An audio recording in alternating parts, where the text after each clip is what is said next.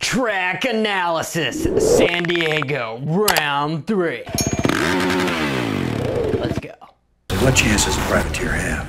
Welcome to Silver Crown. What do you say to a factory ride? From literally a thousand foot view, you can tell that this is gonna be a good racing track because of all the 180 degree corners. As soon as you have a 90 degree corner, it's not good for racing because it's a one line corner. So 180 means you can take your ass out. Here around the start, you're gonna see guys kind of scrub, then triple, triple on, triple off. The next section, interesting that there's not a jump on off. It's starting off a tabletop, which is interesting. So that's just gonna be a double double.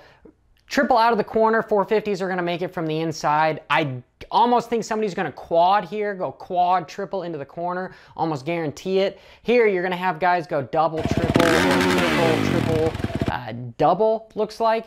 And then finish line, again, big, nice bowl corner. Guys are gonna get stuffed.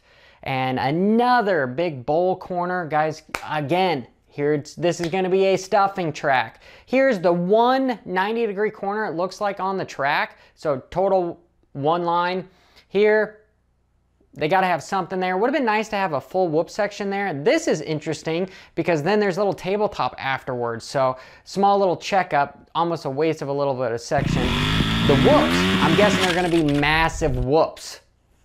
That is it for track analysis. Let me know in the comments below. Let's banter, talk some smack. It's what we're here for, right? Keyboard warrior that shit up. WFO, bro! Oh, oh, oh.